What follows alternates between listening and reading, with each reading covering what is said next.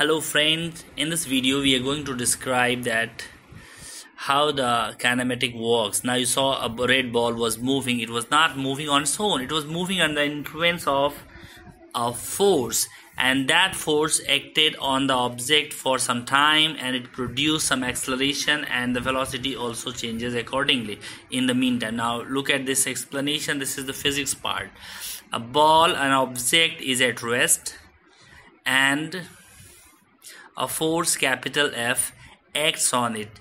Initially the displacement is zero means the ball is at the same point where the observer is and the time hasn't started means t is also zero.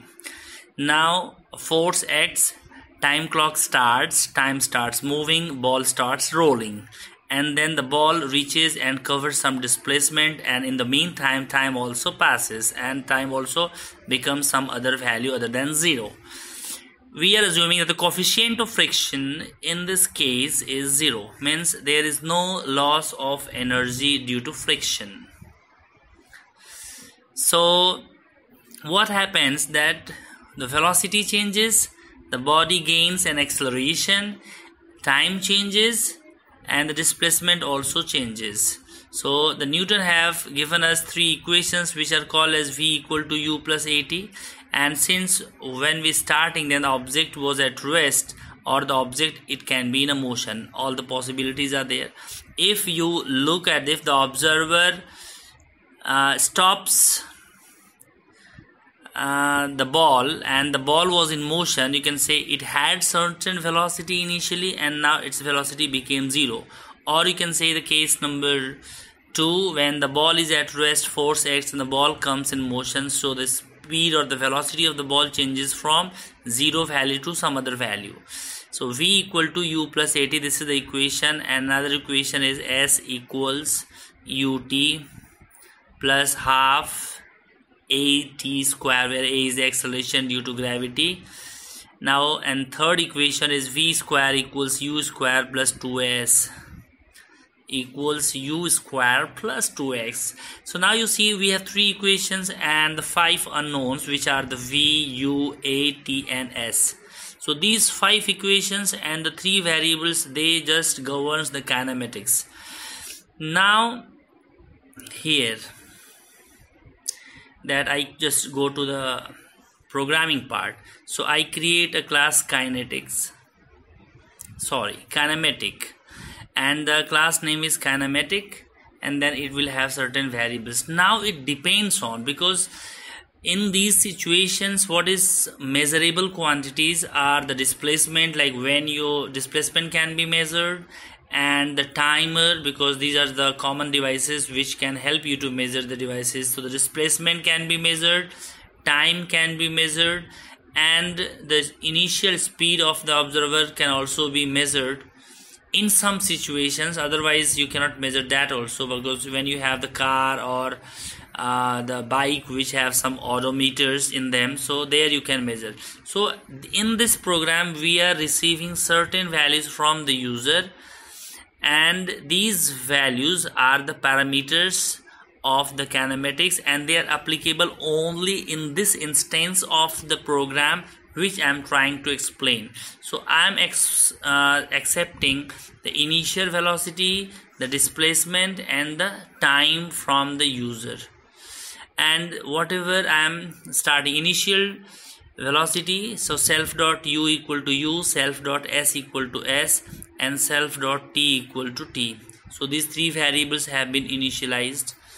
Now we just try to find out the other uh, variables other unknowns of the kinematics which are the final velocity or the accelerations and which will be calculated based on these values. So here it is. So self dot t equal to 2 t. Self dot t equal to t. Now I go and say def uh, I can create another function. Okay one line was missing there. That is self dot u equal to u. So next function goes like the definition def velocity and uh,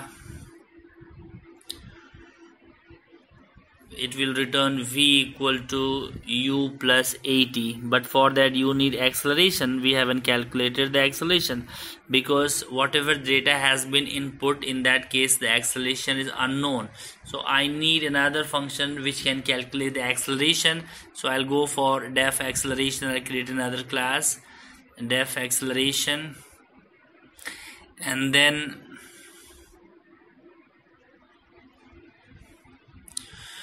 how to calculate the acceleration with uh, these data? U so we'll go by the second equation which is s equal to ut plus half at square and then we'll find that s minus ut whole multiplied by 2 divided by t square will be the acceleration. So a will be 2 times s minus ut upon t square. So now self dot s minus self dot u dot self dot t. Self dot u into self dot t whole multiplied by 2 so 2 multiplied by this 2 yes and then divided by t square. So now just let me explain you how I got this relation. Look at the second equation. Now I'm changing the subject as a. So this will become s minus ut from second equation. Yes obviously. 2 upon t square.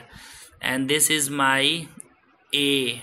So a equal to 2 times s minus ut upon t square. This is the equation we are using in the function to calculate the acceleration. So 2 times self dot s minus self dot u into self dot t divided by self dot t. Self self means the variables which are the variables of the functions are called as self.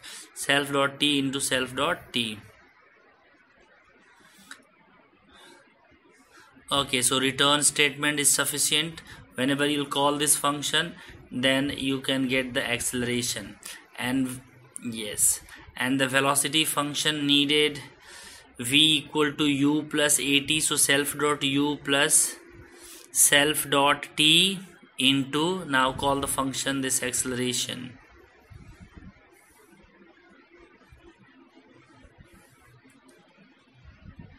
Self dot acceleration.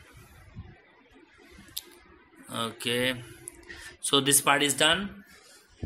And now this is it. No other function. You can define other functions also depending on what you are seeking. But since you can uh, add some more functions this is up to you. But for this program for this explanation i think only these two are sufficient. And um, with these four equations with these three equations you can calculate anything literally. Because these three what we can do in the real life in the physics subject what we do we can do here also. Because we are not creating any physical law we are just using the existing laws to calculate the program. So this you now i am accepting the values from the user so i'll be taking the three values u s and t. And then i'll be creating the object of the function. So u has been taken s equals and then the s will be taken and t will be taken. Then i'll create the object of the class kinematics and then i'll pass these three values and with the help of that object i'll be calling the uh, requisite functions. So now here i write the s equal to enter the displacement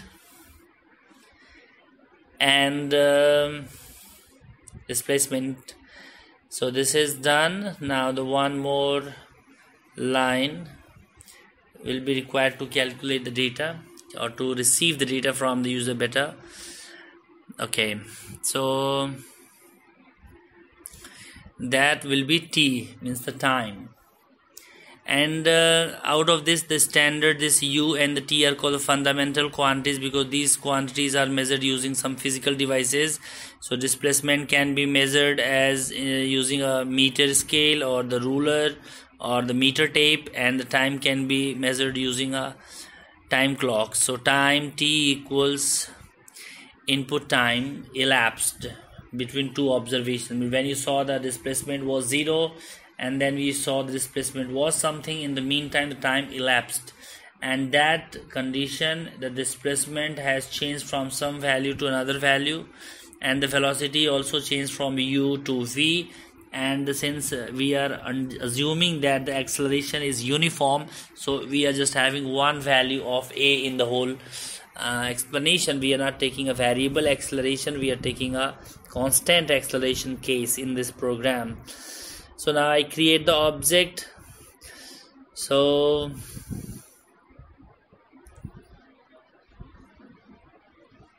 okay.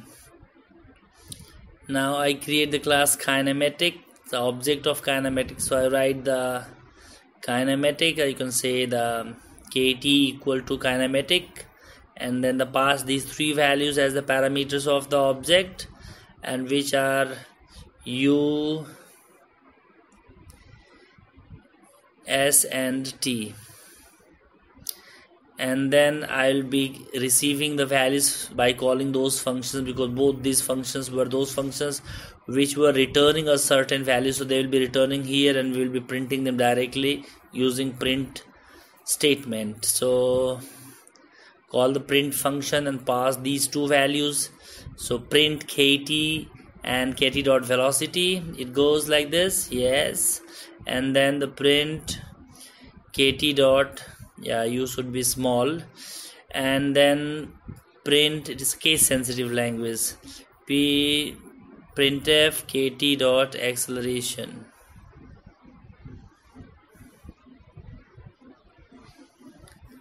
Okay so it should have acceleration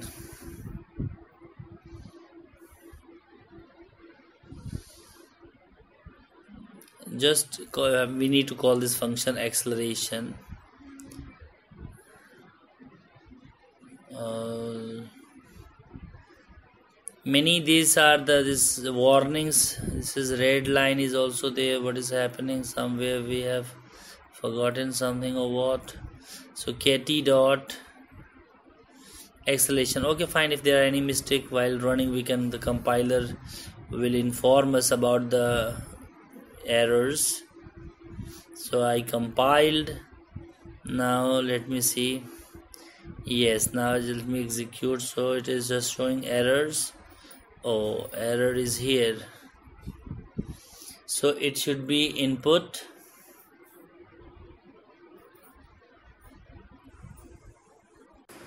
Now this is corrected. No more error.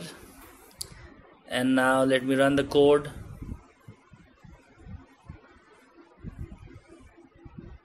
and then I got the results. Okay let me rerun the code again with another set of values.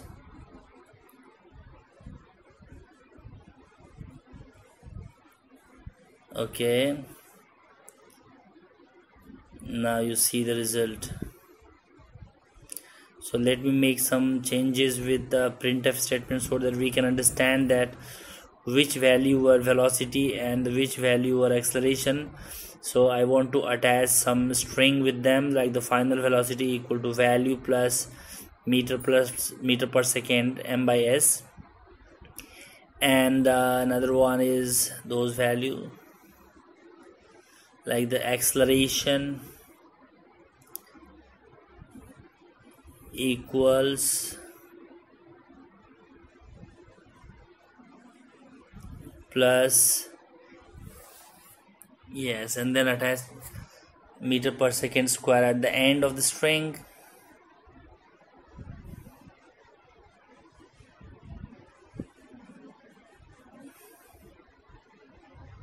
So here it goes I enter the value velocity that is initial velocity final and then I need to as other data and then the time and then let's see result. Yes now it's displaying properly meter per second final velocity equal to something and initial velocity is also something. So now you can say this is working nicely. Let me run the with another different set of values. So here I enter something and then you see. So now you can understand and this way just keep on um, doing all these things and you'll understand that how to write the course like this. Thank you very much. Just subscribe to our channel. Have a very nice time